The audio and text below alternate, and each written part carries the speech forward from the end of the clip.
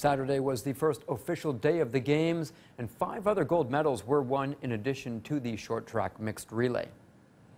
Irene Schouten gave the Mighty Dutch a gold in the first speed skating event of the Beijing Winter Olympics, breaking a 20-year-old Olympic record in the women's 3,000 meters.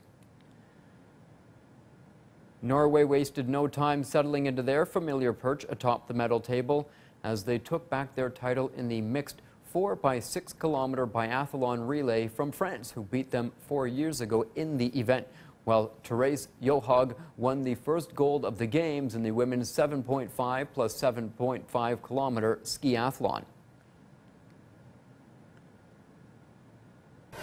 Sweden's Walter Wallberg turned in the biggest run of his career to upset Canadian defending champion Mikael Kingsbury and win the moguls at Genting Snowpark. And Slovenian ski jumper Ursa Bogataj won the women's normal hill on Saturday night with 121 points on her final jump, four years after she had the fewest points in the same event at the Pyeongchang Games.